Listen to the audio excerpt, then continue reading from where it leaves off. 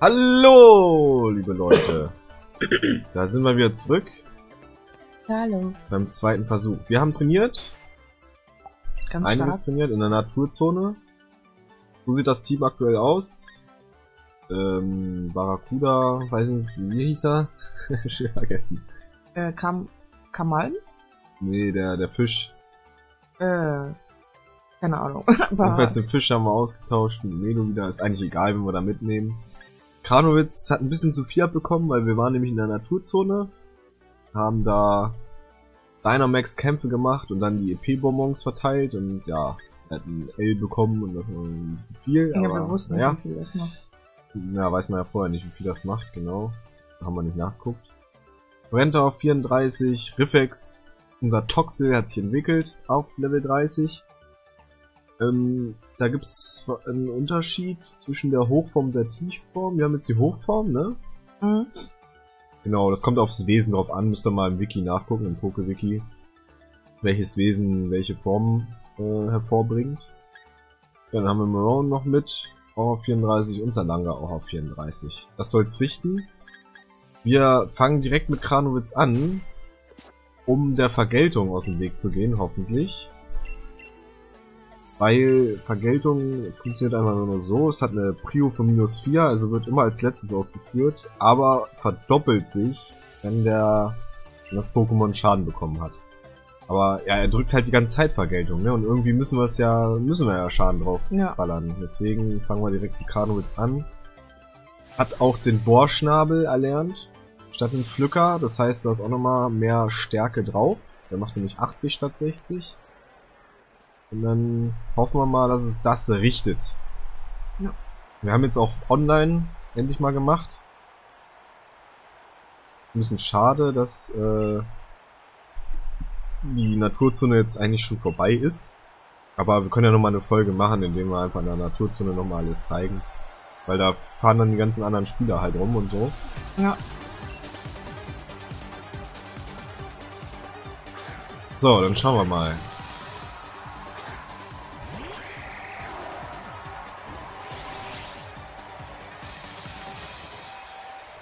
So, und dann wird auch direkt der Bohrschnabel gedrückt. Und wir hoffen, dass es killt. Nein, Oh. es killt nämlich genau nicht. Ah, das gibt's nicht, ey. Aber diesmal killt es die Vergeltung nicht mehr, weil wir jetzt um einiges stärker sind. Ja. Das ist gut. Okay, ja, dann bleiben wir einfach mit Kranowitz drin, würde ich sagen. Jo. Hatten auch mal ein paar andere Pokémon eventuell opfern, wenn wir das andere heilen wollen. Ja, es ist ein bisschen doof, dass Kranowitz so hoch ist vom Level. Wenn es jetzt 34 gewesen wäre, wäre es vielleicht ein bisschen spannender gewesen. Aber naja. Wir haben ja schon einmal verloren. Genau, Ah, dafür ja. sind wir ja vorhin auseinandergenommen worden. Aber ich find's krass, dass man wirklich trainieren muss. Auch für die Arenen. Das war vorher eigentlich nie der Fall. Da Das konnte man stimmt. einfach durchgehen. Durchs Spiel. Musste eigentlich nie trainieren. Trotz dieses heftigen EP-Teilers. So ist schon nicht schlecht. Oh, Lauchzelot. Das ist die Weiterentwicklung von... Das ist die Weiterentwicklung von Forenta. Ach. Was ist denn diese? Das ist lustig. 35. Okay. Ich glaube, ich setze mal ein High-Item ein. Ja, das kriegt man, indem man mit Porenta dreimal einen Volltreffer landet im Kampf. Dann entwickelt sich's. Ja. Haben wir anscheinend noch nicht gehabt, obwohl wir schon so viele Volltreffer hatten.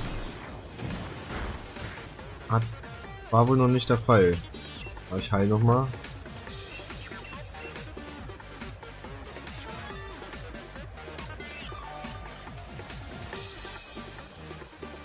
So. Oh, jetzt wird's spannend. Jetzt macht Lauchzelot ernst. Hm. Endlich hat Forenta eine Entwicklung bekommen.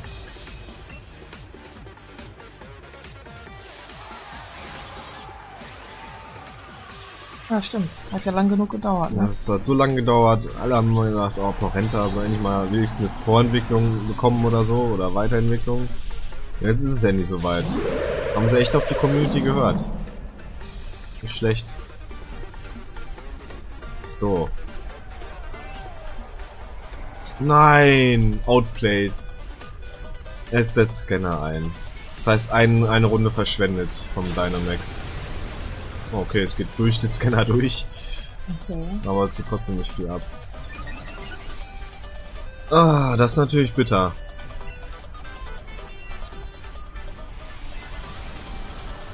Das heißt, wir haben jetzt nur noch einen Angriff auf sein Dynamax-Pokémon. Hier. Hier. Die ist nicht. Oh, auch wenn es nicht so alt ist.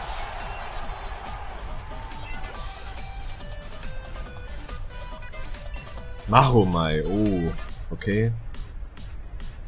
Bleib standhaft, wir geben, geben gemeinsam unser Bestes. 36. Macht das Okay, dann geht das ja doch vom Level her.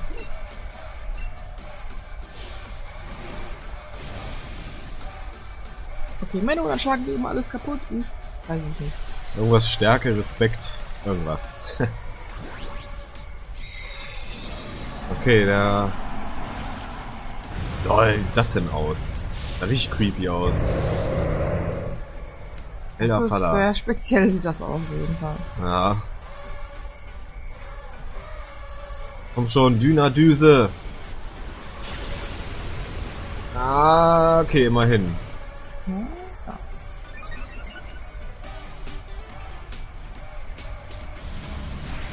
Düna dunkel, okay.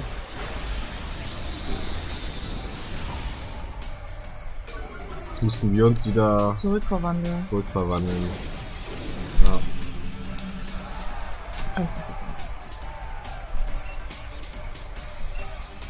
Okay. Dann gucken wir mal, wie der Borschnabel abzieht. Ja, passt doch. Alles easy. Hm.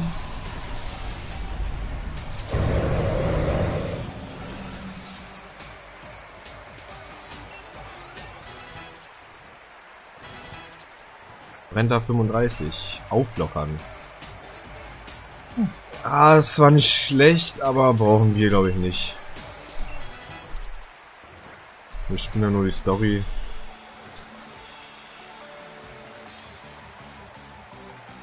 Konnte den Kampfgeist einer Pokémon deutlich spüren. Ja. Easy. Und Kranowitz entwickelt sich. Oh mein Gott. Geil. Was? Das sieht Charmant. ziemlich cool aus. Niemand wagt es, ihm den Himmel über Gala streitig zu machen. Sein schwarz glänzendes, stählernes Äußeres schüchtert jeden Gegner ein. Ach, Stahl ist das statt Unlicht. Stahlflug. Ah. Ja, nice. So wie Panzer Eron, ne? War auch Stahlflug. Stahlflüge erlernen. Okay. Nehmen wir mit. Hm.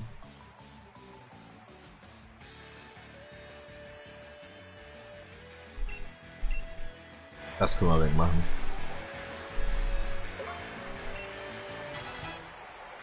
Ja, nice. Sehr cool. Öh, Ron entwickelt sich auch. Was ist hier los? Was passiert hier?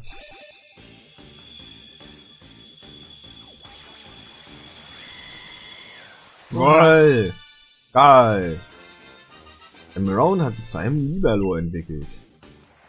Ist das die letzte Form, oder? Fast die letzte Form, ja. Okay. Es jongliert kleine Steine mit den Füßen und erschafft daraus einen Flammenfußball. Seine Gegner verbrennt es mit scharfen Schüssen. Nice. Okay. Deswegen Kicker los, soll ein Fußballer sein. Ah, okay. LOL. Äh, 120 Stärke. Physisch. Zwar nur 90 Genauigkeit, aber okay, das ist heftig. Da können wir hier nochmal Kopfnuss für weg. Das ist ja krass. Mhm.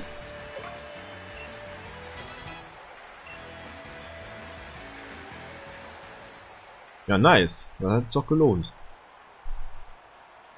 Ich danke dir für diesen Kampf. Unser Schlagabtausch hat mich einiges gelehrt. Überraschenderweise hat der Kampf gegen dich mein Herz regelrecht zum Tanzen gebracht. Dabei weiß ich, wie wichtig es ist, als Kriegerin die Fassung zu wahren. Aber genauso wichtig ist es wohl zuzulassen, dass der Kampf das Herz berührt. Diese Einsicht habe ich dir zu verdanken. Hier, der Kampforden ist dein. Jawohl, dann haben wir den vierten Orden. Mosaik. Die Hälfte haben wir. Mhm. Kannst jetzt alle Pokémon bis einschließlich Level 40 fangen. Du und dein Team, ihr werdet noch viele Kämpfe gemeinsam bestehen und viel zusammen erleben. Ich hoffe, jedes dieser Erlebnisse wird eure Herzen stärker werden lassen. Hoffen wir das mal. Herzlichen Glückwunsch zu seinem Sieg gegen Seidapaven. Als Anerkennung deiner Leistung erreiche ich dir diese TM, bitteschön. Da ist die Vergeltung. Ja. Eine unserer Uniformen bekommst du auch noch oben drauf. Die völlig nutzlos ist. Ja. Den Kampforden hast du dir redlich verdient. Nur weiter so, Paven. Nice. Bis Balduin. Boy, boy. Und da ist Sanja auch Haha, schon. ich glaube, mein Voldi mag dich. Prima, dass ich dich hier treffe. Treffe. Du kennst doch die berühmte antike Stätte von Passbeck, oder? Nun, angeblich soll sie mit der Heldengeschichte von Gala zusammenhängen. Allerdings scheint mir das, was heute noch dort oben zu sehen ist, kein Original aus alten Zeiten mehr zu sein. Ich würde dir die antike Stätte, äh, antike Stätte gerne zeigen. Nachdem du mir letztes Mal schon einen hilfreichen Denkanstoß gegeben hast, würde mich deine Meinung dazu interessieren. Boom. Boom. Was in aller Welt war das für ein Geräusch? Kam das etwa von der antiken Stätte? Bestimmt nicht. Hat bestimmt einer gesprengt oder so. Schnell, lass uns nachsehen. Komm, Boldi. Ja, man hat ja schon gesehen, dass so ein Riss im Gemälde war. Mhm. Und als wir rumgereist sind, haben wir schon gesehen, dass oben so ein Weg weitergeht von der Stätte weg. Das heißt, da wird jetzt wohl eine Höhle sein und da geht's wohl weiter dann. Hä? Ja, los! Was stehst da rum?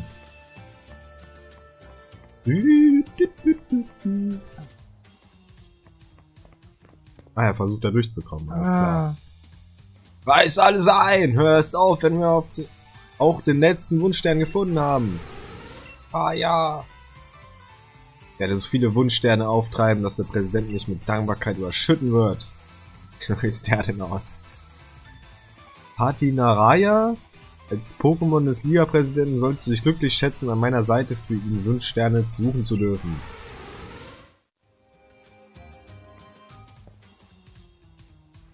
Ich tu schon wieder. Ah, ich verstehe schon, was hier vor sich geht. Du willst mir die Wunschsterne wegnehmen, um dir die Gunst des Präsidenten zu erschleichen. Ein perfider Plan, das musst du dir lassen. Aber du glaubst doch nicht ernsthaft, dass ich dir das durchgehen lasse, oder? Niemand stellt sich zwischen mich und dem Präsidenten, ist das klar? Er will direkt kämpfen. Äh, okay. Sind wir denn geheilt? ich glaube schon, das war letztes Mal auch schon nach dem Arena-Kampf. Oh, die Weiterentwicklung schon. Woll, dickes Kramor. Wie groß das auch ist. Ähm, wir haben keine Unlichtattacke mehr. Abschlag haben wir mit Porenta. Nice, perfekt.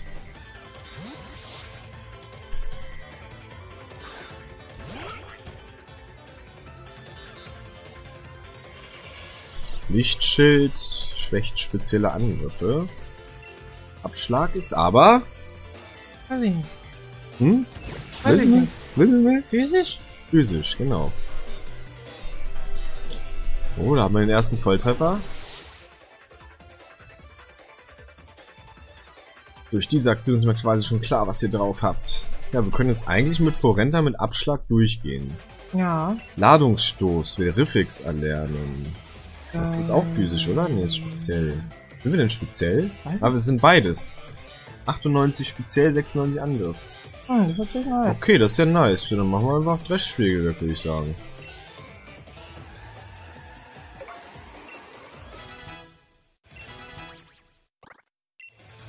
Sandsturm brauchen wir nicht, weil seine Fähigkeit macht das ja eigentlich nutzlos. Ja. Brimano. Ach, das war das. Ah. Okay, irgendwas. Haben wir da nicht letztens irgendwas mit Primano gelesen? Irgendein Item oder so? Weiß ich nicht mehr. Ähm, Oder vorhin da mit den Pokémon-Entwicklungen? Ich überle... Nee, irgendwo hat einer das vorgelesen und dann habe ich noch das ist ein Roman. Ja, stimmt, irgendwas war da. Uh, Oh. stimmt, ja. Das, ja. Das ist natürlich kritisch. Kommt schon, Volltreffer, bitte. Nee, war kein Volltreffer, oder? Nee. War nicht das Heil. Mann, kommt schon, Porenta. Aber wir sind wahrscheinlich nicht schneller. Das heißt, das war's wohl jetzt mit Porenta. Na? Doch, wir sind schneller. Volltreffer, komm schon. Nein! Ja, Volltreffer. War es schon der dritte? Ich weiß es Nee, nicht. War der zweite, glaube ich. Scheiße. Na, schade. Weißt du auch, mit einem KP überlebt schon wieder. Was soll das denn? Okay, dann...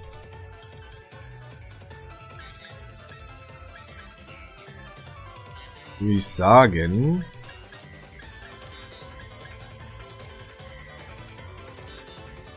probieren es mal mit dem Leben. Zwar deutlich darunter, aber das jetzt noch ein bisschen Erfahrung wieder mit. Ah, ne, ist auch 32, okay. Ja, dann. Haben wir für Genauigkeiten? 95, 85. Ich weiß nicht, ob es Geist ist. Ich glaube nicht, ne? Nee, okay. Dann passt das. Mhm.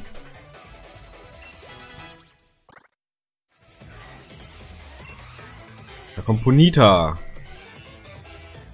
Muss einfach gewinnen. Fündiger Präsident Rose. Ach, das ist ja hier anders, Bonita, ne? Das ist hier Psycho. Die Frage, ob es wirklich nur Psycho ist oder... Ja, scheint wohl so. Ähm, 35, ja, mal Felsgrab. Warum setzt Agilität ein? Ist doch eh schneller. Dumm. Jawohl, jetzt zieht die Hälfte ab. Perfekt. Mhm. Hä? Was macht er denn da? Man weiß es nicht genau. Asponita sieht echt cool aus. Ja. Hätte ich auch Lust auf, das zu haben im Team. Geil muss Galoppa dann aussehen. Mhm. Geil muss die Shiny-Form sein. Holy shit. Da muss irgendwas falsch gelaufen sein. Ich verlange eine Wiederholung. Ja, gerne. Wie kann das sein? Warum kommt mir ständig so ein Taugenichts wie du in die Quere? Ich bin der Auserwählte des Präsidenten. Ich bin es, der den Champ besiegen soll. Der Elite-Trainer, dem die Zukunft Galas anvertraut werden soll. Und trotzdem. Arena Challenger Be Betis. Eine Schnelle. Die Prostituierte sind da. Ich hatte mich schon gewundert, was du vorhast, als du dir das Patinai und Präsident Rose geliehen hast und losgezogen bist.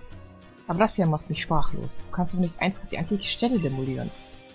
Was kümmern die ein paar alte Steine, wenn aus, auf dem Spiel steht, was in tausend Jahren aus dieser Region wird?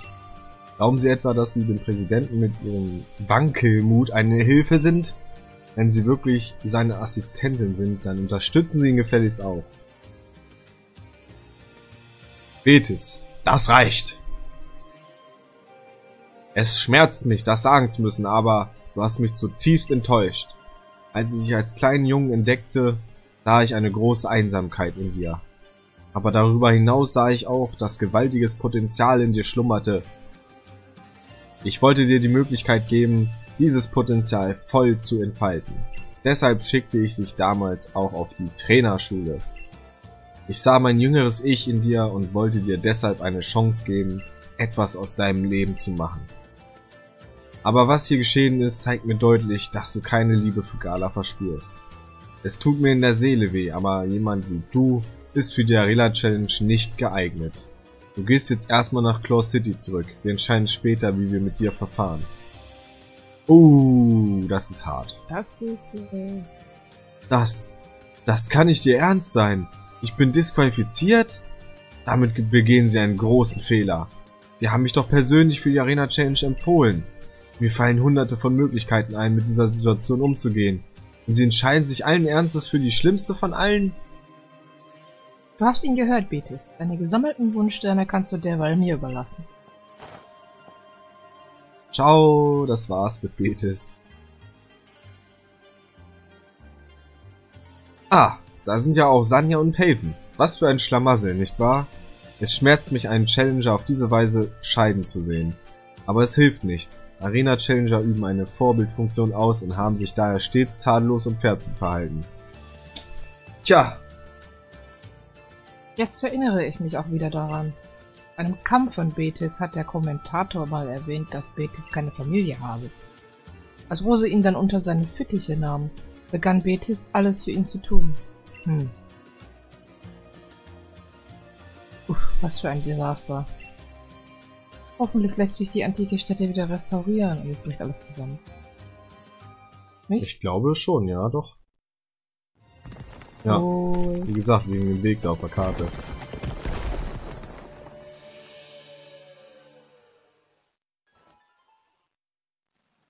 LOL!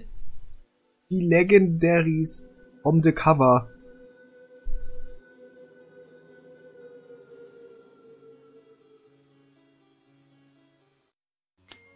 Ah! wie ging ein Licht auf? Ein Licht. Oh Gott, du quatschst bestimmt wieder so viel. Hier ging ein Lichtel auf. Oh nein, die Wandmalerei ist völlig ruiniert. Aber dass dadurch diese Statuen ans Tageslicht gekommen sind, ist Glück im Unglück. Was an dieser Entdeckung ändert unser Verständnis der Legende Galas am meisten. Das Schwert und das Schild. Genau, diese Wesen, die wie Pokémon aussehen, führen ein Schwert und ein Schild mit sich. Sie stehen außerdem ganz klar im Vordergrund und stechen viel stärker ins Auge als die Helden. Ist dir sonst noch irgendwas an den Statuen aufgefallen? Das sind zwei Helden. Genau, damit können wir wohl endgültig davon ausgehen, dass es zwei Helden gab. Die Frage ist bloß, warum im Knospi, am Knospi Inn da nur eine einzige Heldenstatue steht. Die Statuen sind viel älter als die Wandteppiche oder die Heldenstatue im Hotel. Deshalb dürfte das, was, sie, was wir hier gefunden haben, näher an der Wahrheit dran sein. Hm. Was lässt sich daraus schlussfolgern? Hä? Das Schwert ist ein Pokémon oder das Schild ist ein Pokémon? Ist beides richtig. Nein. Also es gehört zum Pokémon, denke denk ich mal, aber ich glaube nicht, dass es ein Pokémon ist. Genau, das habe ich mir auch gedacht. Wie es aussieht, trug ein Pokémon ein Schwert mit sich und das andere einen Schild. Ja, so passt. Was, wenn die Leute das Schwert und den Schild einst zu eng mit den beiden Pokémon verbanden, dass sie letztendlich gleichbedeutend waren? Du weißt schon, das Schwert stand für eines der Pokémon und der Schild für das andere. Mit der Zeit konnte man sich schließlich nur noch an das Schwert und den Schild erinnern. Dass es die beiden Pokémon je gegeben hatte, geriet völlig in Vergessenheit. Aha. Wir haben es auch schon gesehen. Die beiden Jünglinge sind also die Helden, und das Schwert und der Schild waren eigentlich zwei Pokémon. Aber warum wurden die Statuen, die uns dieses Wissen vermittelt haben, hinter einem Kunstwerk versteckt? Danke jedenfalls für deine Hilfe. Ich glaube, diese Entdeckung könnte zu, einigen, zu einem richtigen Durchbruch werden. Ist es doch schon? Haha. Wenn du dich jetzt wieder der Arena Challenge widmest, sollten dir die hier helfen. Als nächstes geht's für dich nach Fairbury. Richtig? Dann mal viel Erfolg. Dort. Zwei Beleber. Kann man da jetzt rein? Nein. Kann man jetzt rein? Äh, okay, aber ich dachte echt, da geht's jetzt durch, weil... Wenn ihr guckt. Hier halt so ein Weg. Hm. Ah, okay, Später. dann ist das vielleicht doch der Weg, der hier rechts vorbei geht. Na, wahrscheinlich. Hast einen Höheneingang. Auch. Geil. Ich glaube, das eine ist ein Da Wald, ist die oder? Pokémon-Liga. Da ist noch eine Arena, da ist noch eine Arena. Achso, ja, die Drachenarena noch. Ja, ja, ja, okay. Gut, dann, ähm, ah, ich würde fast sagen, machen wir heute mal eine kürzere Folge. Und dann sehen wir uns das nächste Mal auf der nächsten Route wieder. Yo. Bis dahin. Tschüss. Tschüss.